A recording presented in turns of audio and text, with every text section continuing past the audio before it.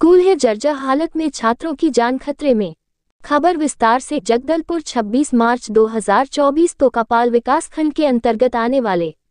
ग्राम पंचायत रानसर की पाल प्राथमिक शाला डोगरीगुड़ा में शाला भवन जन की छत जर्जा हालत में है। कभी भी दुर्घटना हो सकती है।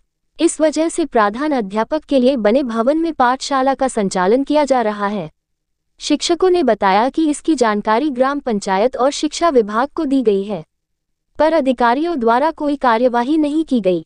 इंडिया रिपब्लिक न्यूज़ से अहगत सेठिया ब्यूरो चीफ बस्तर की खास रिपोर्ट।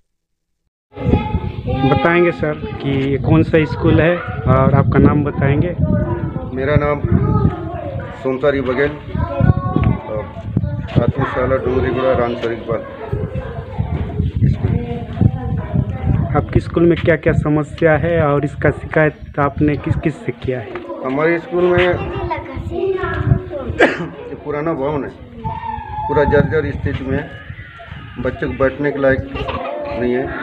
और इसका हमने विभाग को जानकारी दे चुके हैं बी को, पंचायत विभाग को, पूरे दे चुके और अभी जगह नहीं होने के कारण ये एचम जो कमरा है, उसमें पहली से लेकर चौथी तक क्लास लगी जा रही है। और ये प्रारंभ में पाँचवीं क्लास लगाई जा रही है।